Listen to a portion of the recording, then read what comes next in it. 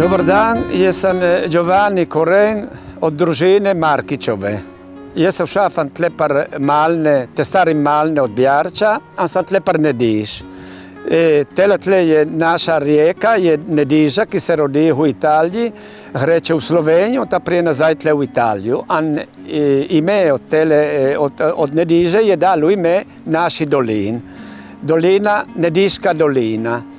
Kar je cajt od šuša, je malo vode, kar, je, kar so veće veliki dažovi, se vzdihne Nediža, a peje puno vode dol.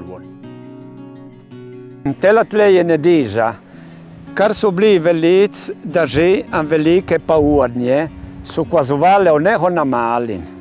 An malin tle je moral on počakati, da se potalažejo vode za dat delu, a za da se bo pomalu ljudi, ki so nucali malin. Zok na, na 4 na 5 novembrja telega leta, 2012 let, e, tu 24 ur je padlo 400 mm vode. In tole tle mora zastopiti, da kar so prišle tele velike pavodnje, da kako škodo so runale.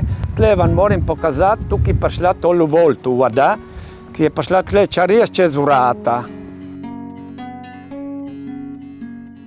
Mlinar, kar je videl tele velike pavodnje, ki se je zastopilo, da so imeli predit, vse blago, ki je bilo ta zakraljen, je znesel, ona vrdena potopil se kupe voda, in da nam naredi škodo.